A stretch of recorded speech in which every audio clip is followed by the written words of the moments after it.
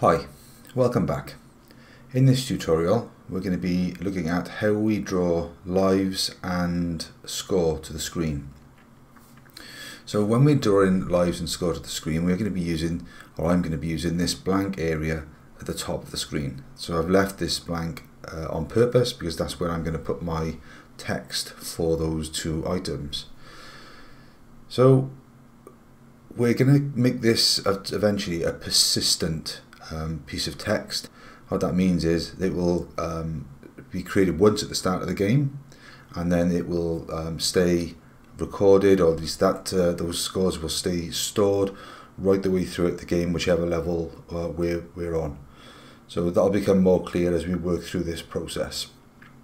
So the first thing that we need to do is to create a font that's going to be used to display our score and our lives because when we create a, a game, um, you'll notice that the fonts here, okay, I'm looking here, are blank, there's, no, there's none in there. So first off, we need to create a font that we can use in-game to display stuff on the screen. So um, we're going to create, in the fonts area, a font. I'm going to call this FNT FNT underscore, and I will call it game font. You can call your game font whatever you like. Um, it's just don't forget good practice to uh, to use the naming conventions, and the one for font happens to be FNT. So you can see a preview area here of the font. Um, this is where we can select our font. This um, allows us to display certain group items. Um, we've got um, we can change it to bold, uh, bold and underlined and italic here we can change the the, um, the size of the font here and we can change, turn on and off anti-aliasing which um, you can, as you can see if I've turned it off it, um, it makes the font um, slightly fuzzy. So it's always good to keep that on unless you're um, you're doing it that for a reason uh, to, to, go with the style of game.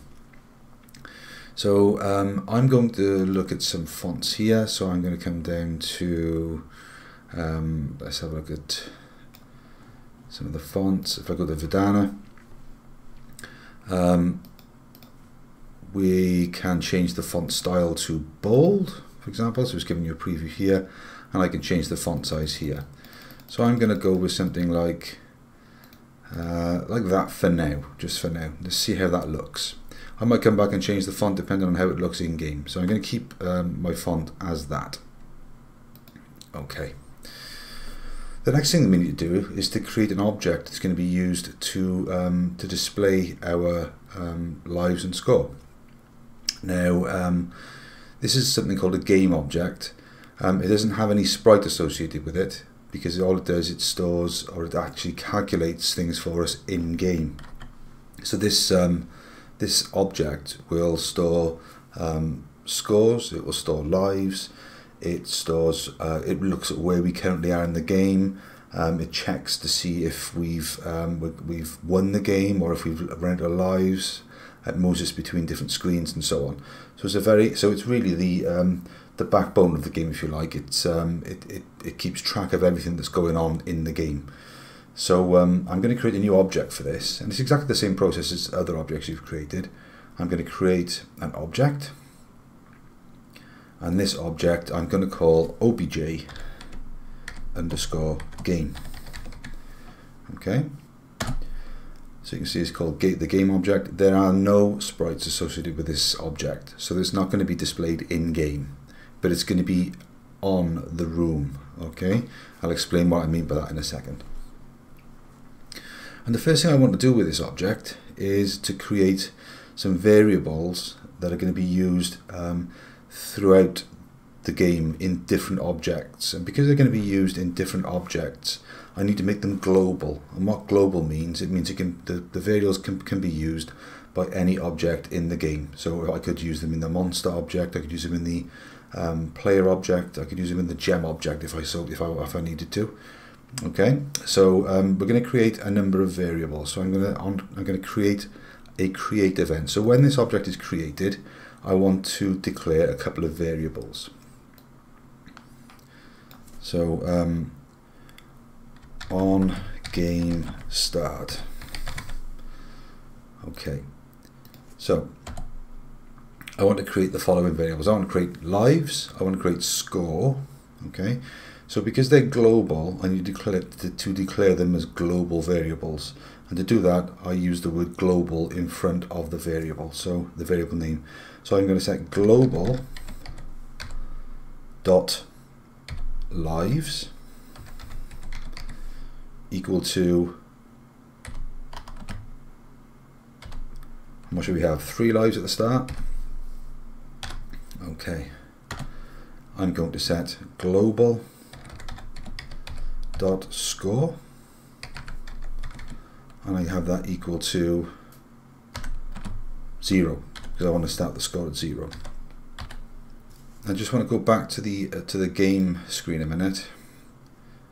So I don't want to do that actually. What I want to do is display the room for level 3 and don't forget the um, the aim of the game is to get this hat okay so um, what I need to do in my um, game object as well is declare a variable to check whether or not we've got the hat so we did something similar to this with the key so we had a variable called has key um, so we're going to create a global variable which is going to check if we've got the hat or not so I'm going to uh, set a global variable as has hat if it's 0 it means we haven't got the hat. If it's 1 it means we have got the hat. So um, let's close this, uh, this level down. And I'm going to set another variable global dot has hat. Oh, global dot has hat. And I'm going to set that equal to 0. So I'm going to check to see um, if the has hat variable is um, 1 or a 0 um, and if it is a 1 we're going to go to the win screen if it's a 0 we're going to take the um, uh, we're, we're going to keep on playing the game until that variable changes. Okay. The last thing I need to do on this create event for the time being is to um, tell the game the game object what font I'm going to use. So uh, we do that using a command called draw underscore set underscore font. So we're going to use draw underscore set underscore font. So this is going to tell the, the game what font we're going to use. We've only got one font in the game and we've called it FNT underscore game font. So it tells you, um, so I'm going to open the bracket and it tells you then here you need to name your font. So that is um, FNT underscore and there's my game font there, game font. Okay, so um, all, don't forget all of those lines need to be ended with semicolons this uh, exclamation mark is here because um, we haven't um, used has hat variable anywhere else. Um, it's not a, um, a built-in variable, whereas lives and score are, so that's why you don't see the exclamation mark there. This is nothing to worry about yet because we haven't finished the coding, so that's absolutely fine at the moment. Okay. So, um, so what we're going to do now is look at how we actually draw the um, the fonts to the screen. Okay, so I'm going to close this down because we finished this now. So I'm going to add an extra event. And this time I'm going to add a draw event. And I'm just going to use the draw object. It's not a GUI event. That's something different, which we're not going to cover in this um, tutorial. We're just using the draw event. And the draw event is going to be is used to draw objects to the screen. Okay, or draw things to the screen. We can draw sprites to the screen if you want to. We can and we can use text. So we can use the draw event. Okay. So the draw event is going to be used to display to the screen. Okay, so I might change this description um, a little bit later on when we've uh, uh, added a few more bits and pieces. So, how do I draw things to the screen? Well, what I want to do is to draw text, and we're going to look at this in a little bit more detail later, um, because we can use some um, some different effects and we can center the text and so on. We're not going to cover that in this video. We'll do that um, uh, in maybe the, not next one, maybe the one after. Um, but we're going to draw some text to the screen. So um, I'm going to take you through how to draw um, the score to the screen first. Um, don't forget we've set our score to zero. So we use the command draw underscore text. So draw underscore text and then I'm going to open a bracket. Okay, now at the bottom of the screen you can see that it tells me what it's looking for. It's looking for an X position it's looking for a Y position, and it's asking me for a string. So the X position is where we want to start the text drawing on the X axis, that is horizontally. Okay. The Y is where do we want it to display from the top of the screen down. So the first number is how far in from the left do we want it. The second number, the Y, is how far down from the top we want to start drawing our text. And then the string is what do we want to display. So let's try this. Okay, we're going to go. Um, uh, let's let's say I want to draw it 50 across, 50 pixels across. Because don't forget we're working on full HD resolution here, and then I want to draw it say 50 down. And just for now, I'm going to put the um, word score.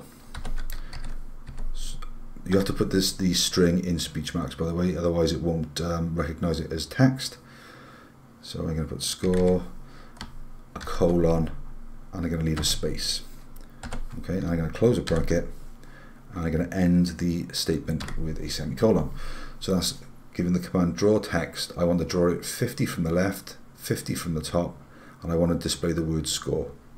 So uh, in order to get this object in the game, I need to add it to the room. So we're just going to just add this one game to this one um, object, the game object to the room. In a future video, we're going to take it out of the room, okay? But uh, you don't know about that quite yet. So I'm going to open up my level one, okay? And I want to just drag the object anywhere in the room. It won't be visible because there's no sprite associated with it. So I'm just going to click object game and I'm just going to put it just just so I know where it is in the top left hand corner. You can see there's a little, um, if I zoom in, you'll be able to see there's a little um, question mark there. Okay, you can see it there. Okay, um, but you won't see that in game. So when I run the game, what's going to, what should happen is we'll display the word score in uh, on my game. Okay, so let's try that. Let's close this uh, level down and let's run. Okay, so you can see the word score 50 across, 50 down. I might want to move it up slightly. It doesn't look quite centered. So I might want to put the uh, make the um, the y-axis maybe 45. Let's try that. Let's make the y-axis 45. That's the second number.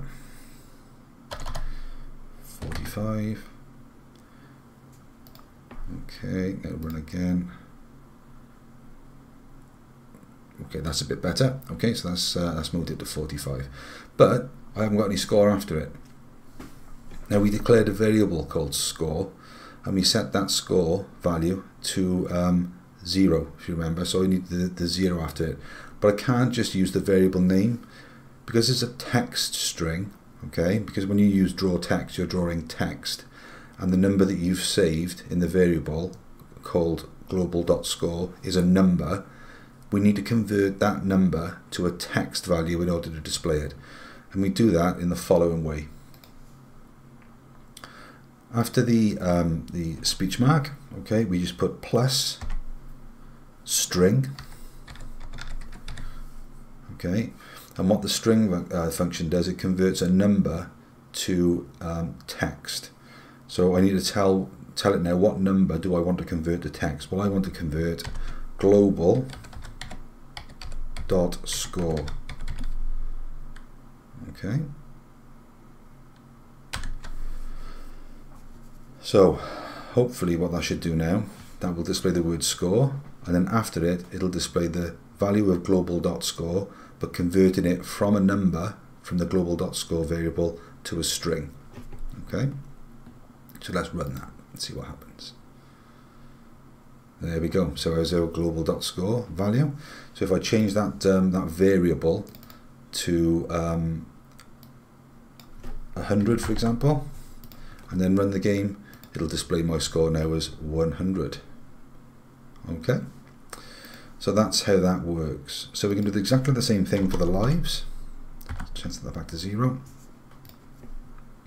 We're going to create a draw event. Um, and don't forget, whenever possible, no problem with you copying and pasting um, text. This time I'm going to use um, lives, so I'm going to change this uh, score to lives.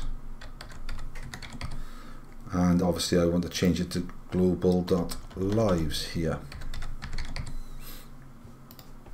Okay, um, now this is where you have to start playing about with numbers. So let's let's try let's try hundred here. So I'm going to be moving across hundred pixels. I don't think that's going to be enough, but I just wanted to show you what will happen.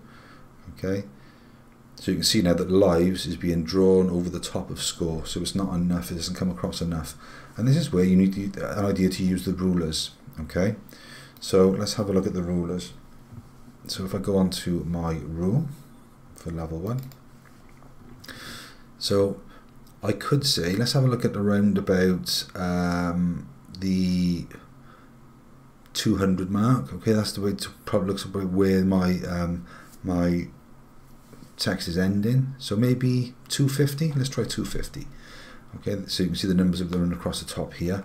So I'm going to try 250 and see if my um, my the start of um, the the lives um, is not now cut off. So let's try that. Let's go back on here and let's try and change the x value here to 250. Okay, and then run the game. So there we are. I might want to move it across a bit more. I think I will actually. I might make it uh, 300 perhaps. Let's try that, 300. There we go, that looks a bit better to me. So now we've got um, on the screen score and lives. Um, if I wanted that on the second room as well, then I would need to put that um, as it is at the moment. I would need to add the um, the game object to the other room. So just to demonstrate that, let's uh, let's play the game. Very quickly run through this level. Okay, so we've got the key. Okay, let's go up here. I don't want to make you jealous of my gaming skills, but go. Okay, so if I come across and go to the next exit, you can see that the, the lives on the score don't appear on that screen. Okay, so let's go on to room 2 and let's add the game object into this room. Let's try that again. Okay, get the key as quickly as I can.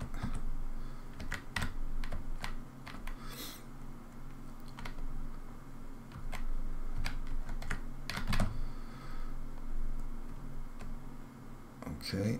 And you can see that the lives and the score are now displayed in room 2 okay. There is an issue with this which we'll look at in the next video but um, but that's how you display text on the screen um, in uh, your rooms in GameMaker. So in the next video we're going to look at um, using those score and lives uh, text values that we've got in those variables to keep a track of the number of um, lives that we have and the score that we um, we have throughout the game. So I'll see you in the next lesson.